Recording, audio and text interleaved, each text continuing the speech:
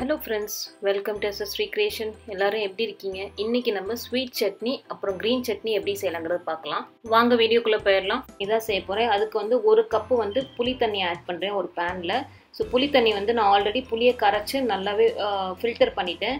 So அடுத்தது பார்த்தீங்கன்னா பேரிச்சம்பளம் add பண்ணுறேன் ஆறுலேருந்து ஏழு இது எல்லாமே சீடு ஸோ டேரெக்டாக ஆட் பண்ணுறேன் அடுத்தது கால் கப் வந்து வெள்ளம் ஆட் பண்ணுறேன் அதோட சேர்த்து வந்து கால் டீஸ்பூன் வந்து உப்பு ஆட் பண்ணுறேன் அதுக்கப்புறம் அதோட சேர்த்து கால் டீஸ்பூன் வந்து மிளகாய் தூள் ஆட் பண்ணுறேன் இப்போ நம்ம வீட்டில் பார்த்தீங்கன்னா வெல்லம் இல்லாத அன்னைக்கு நம்ம இதில் வந்து சுகர் ஆட் பண்ணிக்கலாம். ஸோ இது எல்லாத்தையும் சேர்த்து நல்லா கொதிக்க விடலாம் ஹை ஃப்ளேமில் கொதிக்கும் போது தான் பார்த்தீங்கன்னா நம்ம ஆட் பண்ண வெல்லம் வந்து நல்லா கரையும். அதே மாதிரி பேரிச்சம்பளம் பார்த்தீங்கன்னா நல்லா வெந்துடும் ஸோ வெந்துட்டு நல்ல ஒரு திக்கான கன்சிஸ்டன்சி வரும். ஸோ அதனால் நல்லாவே கொதிக்க விடலாம். ஒரு எட்டுலேருந்து பத்து நிமிஷம் வரைக்கும் கொதிக்கிட்டோம் அது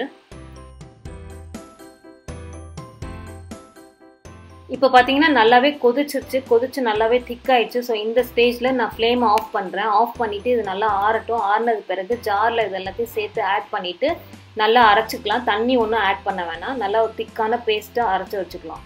இதில் நம்ம புளி பேரிச்சம்பளம் அப்புறம் வெல்லம் அப்புறம் கொஞ்சோண்டு மிளகாய் தூள் ஆட் பண்ணியிருக்கிறதுனால ஒரு காரம் புளிப்பு அப்புறம் கொஞ்சம் இனிப்பு அந்த ஃப்ளேவரில் இருக்கும். இது சூப்பராக இருக்கும். இப்போ என்னோடய சட்னி வந்து ரெடி ஆயிடுச்சு. அடுத்தது க்ரீன் சட்னி தான் செய்ய போகிறேன் ஸோ அதுக்கு பார்த்தீங்கன்னா ஒரு கப்பு புதினா இலை எடுத்திருக்கேன். அதுக்கப்புறம் பார்த்தீங்கன்னா முக்கால் கப்பு கொத்தமல்லி அதோட சேர்த்து ரெண்டு பச்சை மிளகா அப்புறம் இஞ்சி வந்து அரை இன்ச்சு எடுத்திருக்கேன். அதுக்கப்புறம் லெமன் ஜூஸ் வந்து அரை டீஸ்பூன் எடுத்திருக்கேன். ஸோ இது எல்லாத்தையும் மிக்ஸ் பண்ணிவிட்டு அதோட கூடவே பார்த்தீங்கன்னா கால் டீஸ்பூன் வந்து உப்பு ஆட் பண்ணுறேன் உப்பு ஆட் பண்ணிவிட்டு எல்லாத்தையும் ஜாரில் டேரெக்டாக தான் ஆட் பண்ணுறேன் ஆட் பண்ணதுக்கு பிறகு கொஞ்சமாக தண்ணி ஊற்றி எல்லாத்தையும் அரைச்சி எடுத்துக்க வேண்டியதான் நம்ம சட்னி ரெடி ஆயிடும் நம்மளோட க்ரீன் சட்னியும் ஸ்வீட் சட்னியும் வந்து ரெடி ஆயிடுச்சு. இதை வந்து பார்த்தீங்கன்னா நம்ம எல்லா சாட் ஐட்டம்ஸ் எல்லாத்துக்குமே யூஸ் பண்ணிக்கலாம். அதே மாதிரி பார்த்தீங்கன்னா சமோசாவுக்கெல்லாம் சைட் டிஷ்ஷாக யூஸ் பண்ணிக்கலாம். இப்போ ஸ்வீட் சட்னி பார்த்தீங்கன்னா ஃப்ரிட்ஜில் வச்சு யூஸ் பண்ணாக்க ஒன் வீக் வரையும் யூஸ் பண்ணிக்கலாம்.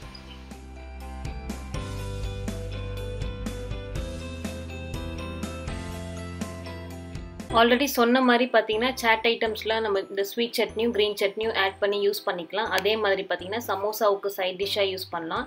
இந்த க்ரீன் சட்னியை நம்ம சாண்ட்விச்சஸ்க்கும் யூஸ் பண்ணிக்கலாம். ஸோ கண்டிப்பாக இந்த வீடியோ உங்களுக்கு பிடிச்சிருக்கும். இந்த வீடியோ உங்களுக்கு பிடிச்சிச்சுன்னா லைக் பண்ணுங்கள் ஷேர் பண்ணுங்கள் கமெண்ட் பண்ணுங்கள் எங்கள் சேனலை கண்டிப்பாக சப்ஸ்கிரைப் பண்ணுங்கள் கூடவே இருக்க பெல் ஐக்கனை கிளிக் பண்ணுங்கள் அடுத்த வீடியோவில் அடுத்த ரெசிபியோட சந்திக்கிற வரைக்கும் பாய்